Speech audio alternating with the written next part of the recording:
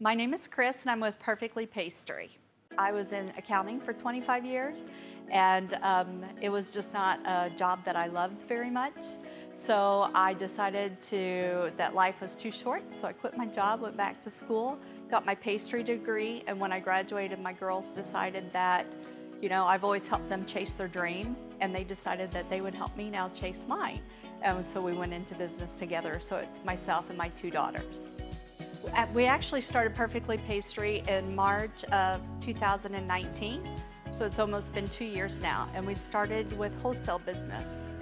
I went down to a coffee shop in Perryville, Missouri and pitched the idea of using somebody that does handcrafted specialty products just for them instead of going to the big box stores. And so the items that we have here in our stores started out um, the overflow of the products for the wholesale. So if you make a, a, batch of muffins, you'll have 14, 15. Well, what do you do with those leftover products? Three or four, because people, you know, purchase a dozen. So that's where we came up with the idea of doing uh, the storefront to go with that. So we do everything from muffins, jumbo cinnamon rolls, any breakfast items. So we have gooey butter cake, and we've just expanded into doing cheesecakes, and of course specialty cupcakes. We also have a keto product line. So our keto cheesecake is pretty amazing. You cannot tell that it's diet or any kind of alternative sugars, um, and it has just six carbs in it.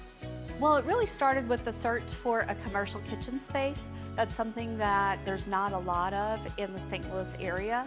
And the few that are out there were either already booked or their pricing was just out of our price range. And we came across John Chen and Urban Eats online and contacted John about uh, baking in the commercial part of the kitchen. And so we started with that, and then John was talking to us about this retail space.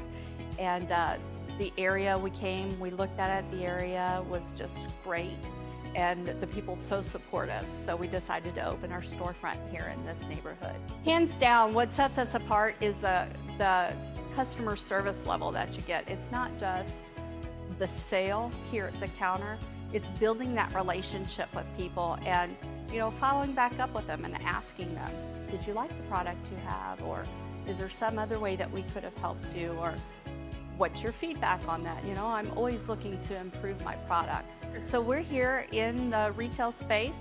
Wednesday through Friday, we're here 7.30 to 2. Saturday, Sunday is 8 to 2. We're on all social media at Perfectly Pastry. And on Facebook, it's Perfectly Pastry Bakery. Just once again, Dutchtown has just been so welcoming to us. We want to say thank you very much for your patronage and uh, we love to see you in the shop.